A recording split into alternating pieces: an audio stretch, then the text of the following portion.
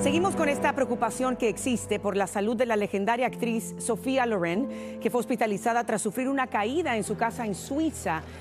Su agente confirmó que Sofía, de 89 años, se cayó en el baño y sufrió varias fracturas, incluyendo en su cadera y en el fémur, por lo que tuvo que ser operada de emergencia. Se sabe que sus hijos, Carlos y Eduardo, han estado a su lado en todo momento y obviamente desde aquí le deseamos una pronta recuperación.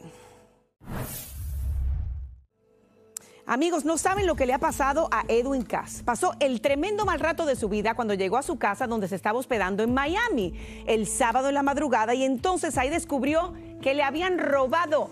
El vocalista de Firme grabó un video desde su carro en el que dijo que le habían robado todas sus cosas, incluyendo relojes, cadenas, ropa carísima y que él pues no podía entrar porque la policía estaba investigando. Qué mal rato. Y hablando Igual que estamos muy pendientes del Super Bowl. Señores, el cantante de RB, Usher, será quien estará a cargo del show de medio tiempo del Super Bowl. Eso fue lo que se anunció este fin de semana.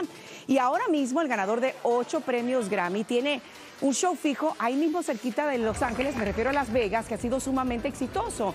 Usher dijo en un comunicado que participar en el Super Bowl es el honor de su vida y prometió un espectáculo diferente a todo lo que se ha visto de él anteriormente.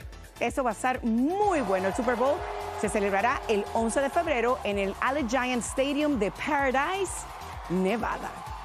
Yo no me lo pierdo, me encantan los comerciales del Super Bowl.